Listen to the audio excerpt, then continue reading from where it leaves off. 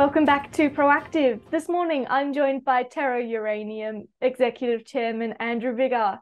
Andrew, great to have you back in the studio today. How are you? Very well, Elisha. Thank you very much for inviting us on. I know it's very close to Christmas and everybody's winding down, but we've had some good year, uh, some good news coming in. Um, and I just thought I'd just wish everybody a, a, Merry Christmas and a Happy New Year. It's been, I know everybody's been very busy, so take the time to have a little break. We will certainly be having a small break ourselves and uh, come back in the new year with some renewed vigor and new success. Great to get you on to do this update just before we head into the festive season. Andrew, I understand this has been a big week of news for Terra. You've just received some pivotal exploration permits. Tell us all about the news. Yeah, well, it's it's it certainly is a big step for us. As you know, uh, anywhere in the world these days, having title is is only part of the story.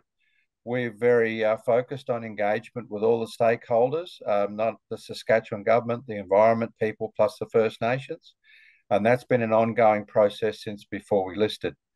And uh, through that process, Mike and his team in Canada have, have successfully just received the paperwork over the weekend uh, confirming that we have been granted a full three-year exploration uh, permit uh, covering uh, not just the grassroots work, but also construction of a base camp at, at Passfield Lake, um, ground geophysics, uh, reverse circulation and diamond drilling, uh, and also some geochemistry. So we'll, we'll be able to work on the ground now for a full three-year period um, normally, they do require a, a, review halfway through, but they haven't asked for that.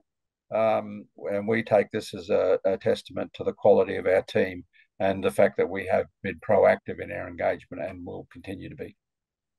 Now, Andrew, I understand the company is in the early stages of formulating some drilling programs for the new year. Can you tell us what you've penciled in so far?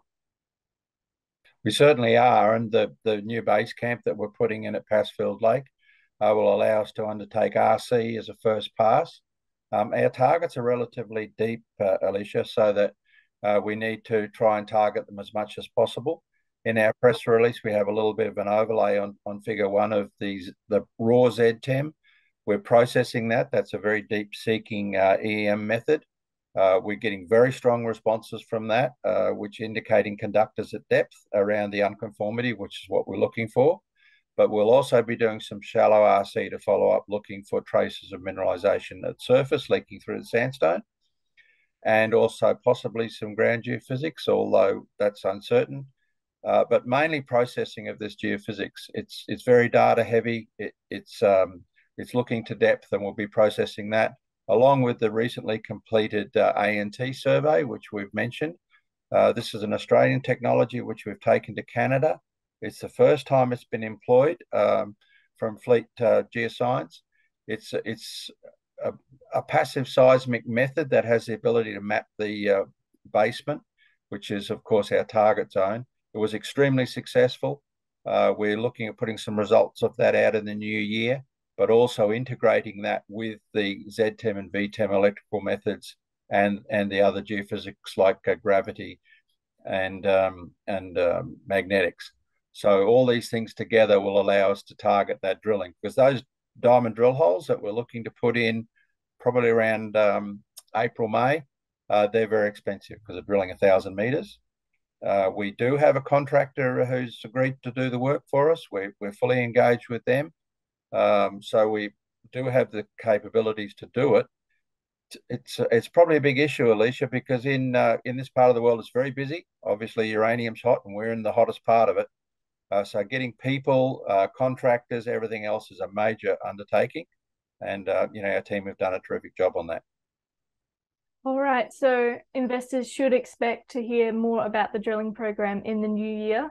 But any other news they should be keeping an ear out for? Yeah, I think we'll be putting out the ANT results uh, in January. Um, as I say, they're very exciting and, and uh, a sort of a, a possible game changer technology for this part of the world been proven in South Australia. And uh, we'll be following that through with the integration into a, an Earth model prior to the drilling. So there'll be a lot of news flow coming out from mid January right through February, March uh, before the drilling even commences. So there, there's a lot happening in our space. and uh, the investors can really look forward to us. We're a very active company. We put almost every dollar we have into the ground. So there's going to be a lot happening, Elisha. Looking forward to the next update in the new year as we hear more about what's happening on the ground. Andrew, thanks so much for your time. Wishing you and the team a very Merry Christmas. And same to all the viewers, and uh, really uh, look forward to the break. Enjoy it because it's going to be busy in January. Bye, everyone.